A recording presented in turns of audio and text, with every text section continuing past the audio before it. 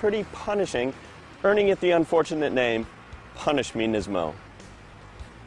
Now, the ride quality of the base 370Z, like this one, is actually quite comfortable, even in this version, which has the optional sport package, which adds 19-inch wheels and low-profile tires.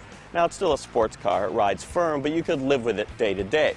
Let's take a look at what makes a Z a Z.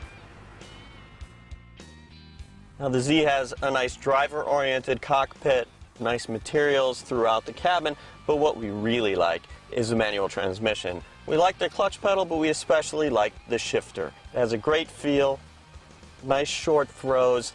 You know what? Even BMW could learn something from Nissan in this regard.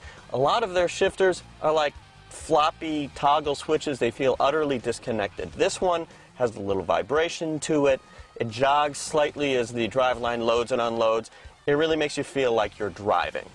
Now, speaking of feeling like you're driving, there's an interesting uh, feature called Synchro Rev Match that comes with the Sport package. You just hit this button here, and then whenever you downshift, when you're in neutral, as soon as you put it into a lower gear, it automatically blips the throttle, matches the revs, uh, and makes you just feel like a rock star driving.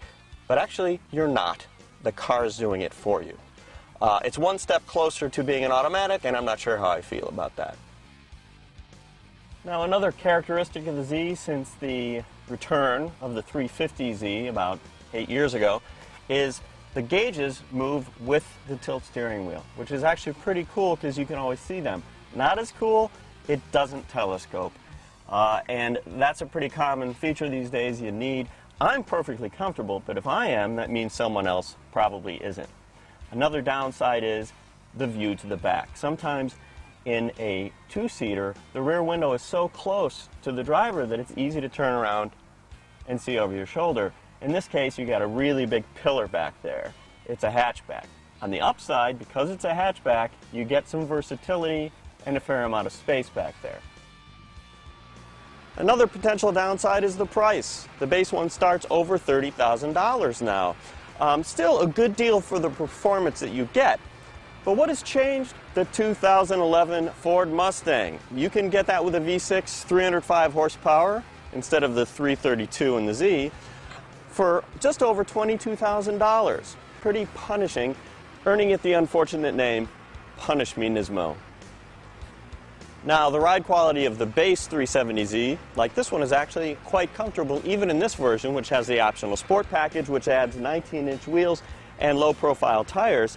Now, it's still a sports car. It rides firm, but you could live with it day to day. Let's take a look at what makes a Z a Z.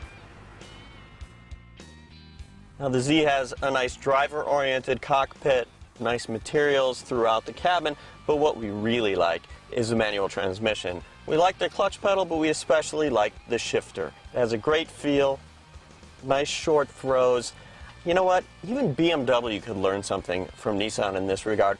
A lot of their shifters are like floppy toggle switches. They feel utterly disconnected. This one has a little vibration to it.